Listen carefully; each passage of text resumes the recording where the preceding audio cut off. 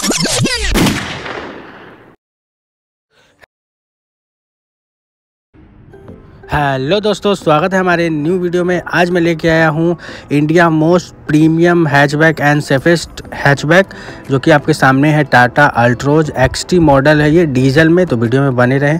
और कोई भी आपको इंक्वायरी और डिटेल में इस गाड़ी के बारे में जानना तो डिस्क्रिप्शन में मैंने नंबर दे रखा है। आप गुलशन जी से बात करके आराम से आप उनसे लोन वगैरह के बारे में डिटेल ले सकते हैं तो वीडियो में बने रहें।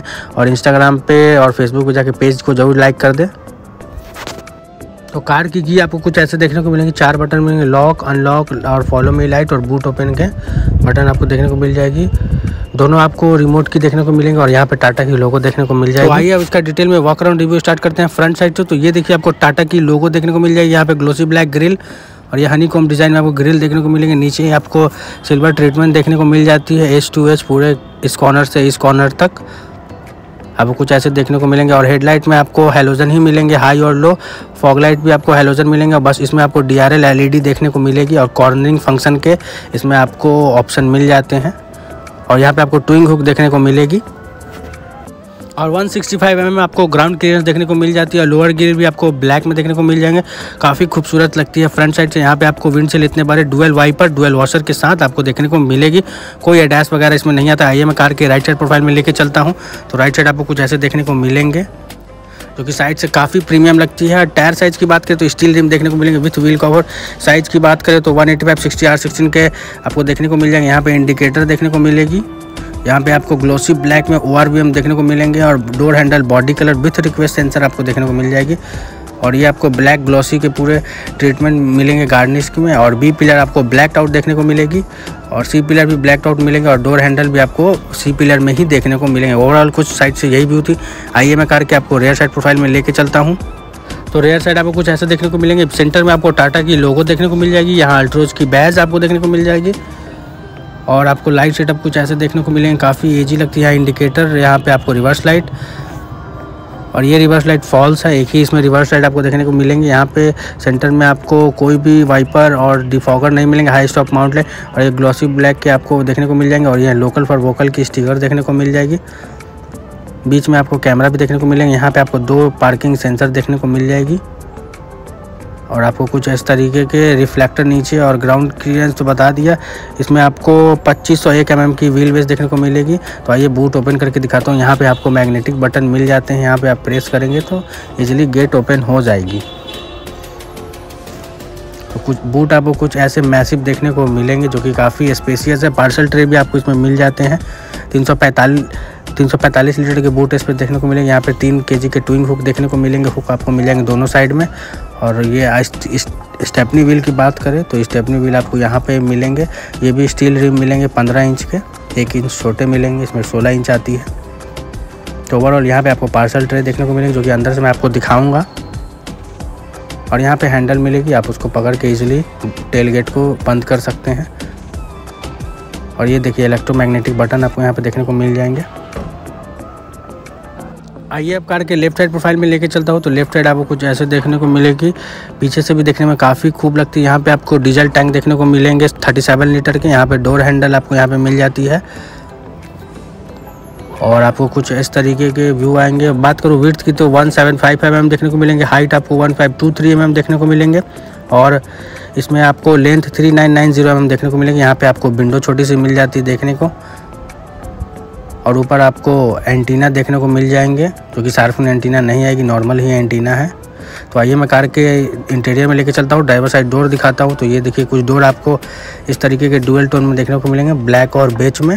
सभी मॉडल में आपको सेम देखिए हार्ड टॉप आपको देखने को मिलेंगे, हार्ड टच। यहाँ पे आपको चारों पावर विंडो, ये ग्लोसी ब्लैक के डोर हैंडल, यहाँ ट्विटर आपको देखने को मिल जाएँगे।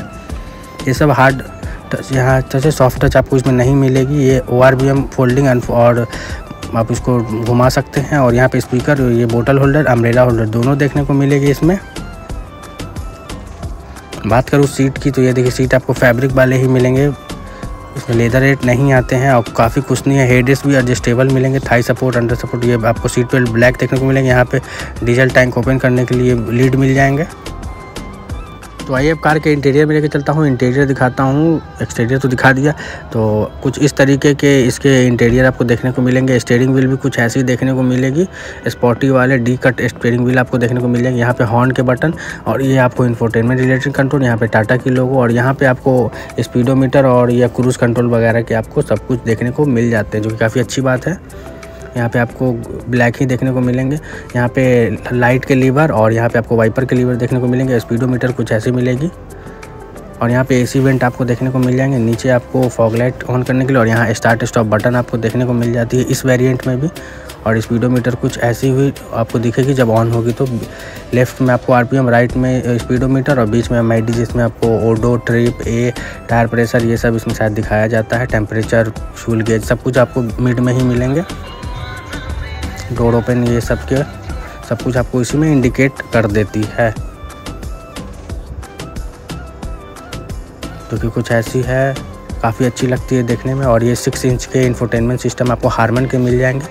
टच रिस्पॉन्स भी काफ़ी अच्छे हैं और इसमें छः स्पीकर मिलेंगे, चार स्पीकर दो ट्विटर इसमें आपको देखने को मिलेगी। और Apple Android to Apple car play दोनों वायर सपोर्टेड है और एसी वेंट में चारों साइड आपको ब्लैक क्रोम देखने को मिलेगी हेजार्ट की बटन यहाँ अल्ट्रोज की बैजिंग देखने को मिलेंगे।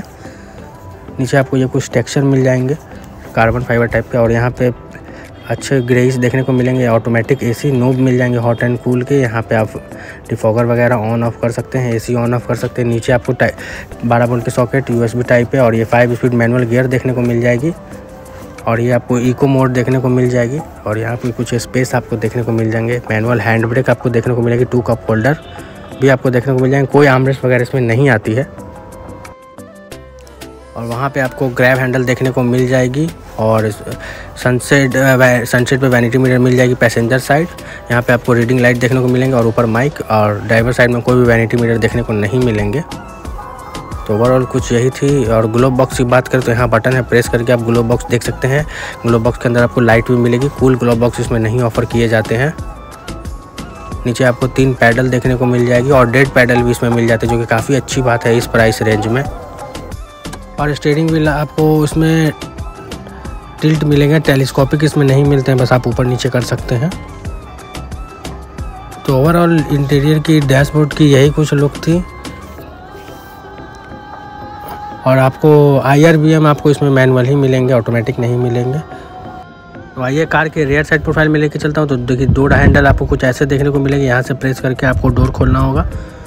डोर यहाँ पे भी आपको डुअल टोन देखने को मिलेगी ब्लैक और बेज कलर में। ये हार्ड टॉप आपको देखने को मिलेगी, यहाँ पे पावर विंडो देखने को मिलेगी, और door handle glossy black tweeter देखने को मिल जाएँगे। नीचे आपको स्पीकर देखने को मिल जाएगी बोटल होल्डर और इसमें अम्ब्रोला होल्डर नहीं मिलेंगे पीछे में। तो डोर कुछ आपको ऐसे ही देखने को मिलेंगे। और सीट की बात करूँ तो फैब्रिक वाले ही सीट देखने को मिलेंगे। काफ़ी कुशनी है सीट बेल्ट आपको ब्लैक कलर के देखने को मिलेंगे। हेड रेस्ट फिक्स्ड मिलेंगे एडजस्टेबल नहीं मिलेंगे। तो आइए कार के अंदर बैठ के लेग स्पेस वगैरह दिखाता हूँ। सीट मैंने पूरा पीछे कर रखा था, तब भी लेग स्पेस अच्छे हैं। सीट में पॉकेट आपको नहीं मिलेगी, ना ही कोई रेयर में एसी वेंट मिलेंगे, बस छोटे से आपको पॉकेट मिलेंगे मोबाइल वगैरह रखने के लिए। और यहाँ पे आपको ग्रैब हैंडल देखने को मिल जाएगी। और ये सीट बेल्ट आपको इधर भी मिलेंगे। सेंटर में आमरेस्ट देखने को नहीं मिलेगी, छोटे से हम्प देखने को मिल जाएँगे आपको। और रेयर साइड से व्यू कुछ ऐसी ये पार्सल ट्रे की पार्सल ट्रे आपको इसमें मिल जाते हैं। और यहाँ पे आपको ग्रैब हैंडल देखने को मिल जाएगी। और रेयर साइड से डैशबोर्ड की कुछ यही लुक आएगी so thanks for watching my video